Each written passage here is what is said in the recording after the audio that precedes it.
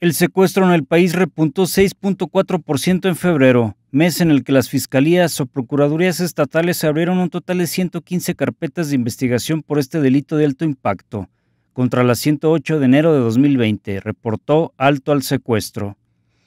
La organización encabezada por Isabel Miranda de Wallace informó que el mes pasado se registraron 149 víctimas de secuestro y se detuvo a 133 presuntos plagiadores.